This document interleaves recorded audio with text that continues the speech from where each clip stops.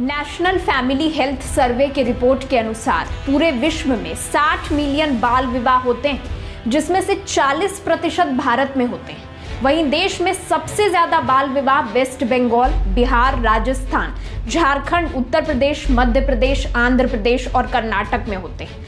अगर ऑफ़िस में काम करने के दौरान बेटियों के साथ सेक्सुअल हरासमेंट की बात करें तो 2021 से 23 के नेशनल कमीशन फॉर विमेन की 20 जुलाई 2023 को जारी एक रिपोर्ट के अनुसार सेक्सुअल असॉल्ट के मामले में उत्तर प्रदेश सबसे ऊपर है, जहाँ दो मामले हैं तो वहीं दिल्ली दूसरे नंबर पर है। चलिए अब कुछ कानूनों पर नज़र डालते हैं। अगर कोई व्यक्ति महिला की फ़ोटो के साथ अभद्रता करके उसे सोशल मीडिया पर पोस्ट कर दे तो अनुच्छेद तीन के तहत अपराधी को एक से पाँच साल तक की सजा का प्रावधान है।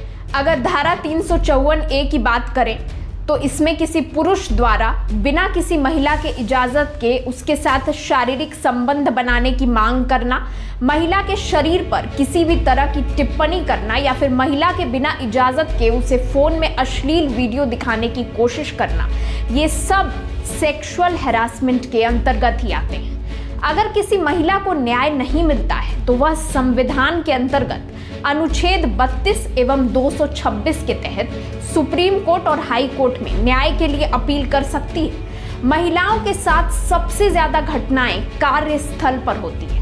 यहाँ तक कि बेटियाँ अपने घरों में भी सुरक्षित नहीं है। कई ऐसे मामले भी दर्ज किए जा चुके हैं जहाँ पिता ने ही बेटी का यौन शोषण कर डाला। हालिया घटनाक्रम पर नज़र डालें तो मणिपुर की घटना समेत उज्जैन रेप कांड भी दिल दहला देने वाला है। इसमें कोई दो राय नहीं है कि बेटियों को शिक्षा के क्षेत्र में लगातार प्रगति मिल रही है। वहीं सरकार द्वारा प्रयास भी किए जा रहे हैं। आपको बता दें कि महाराष्ट्र सरकार ने कल ही बेटियों के लिए एक लेक लड़की नाम से योजना जारी की है, यानी प्यारी बेटी के नाम से। ये स्कीम इसके तहत बेटी के नाम पाँच हज़ार रुपये जन्म के साथ ही दिए जाएँगे। इसके अलावा कक्षा एक में नामांकन के साथ ही उसे छः हज़ार रुपये मिलेंगे। 18 वर्ष पूरे होने तक पचहत्तर हज़ार रुपए बेटियों को प्रदान किए जाएँगे। मध्य प्रदेश में लाडली बहना योजना और लाडली लक्ष्मी योजना तो वहीं देश में सुकन्या समृद्धि योजना और बेटी बचाओ, बेटी पढ़ाओ योजना शामिल हैं। इस बार इंटरनेशनल गर्ल चाइल्ड डे की थीम है। Invest in girls rights our leadership our wellbeing तो चलिए इस अंतर्राष्ट्रीय बालिका दिवस पर बेटियों को कोसने की बजाय उनकी उपस्थिति पर स्वयं को गौरवान्वित महसूस करें और उनका हौसला बढ़ाएँ।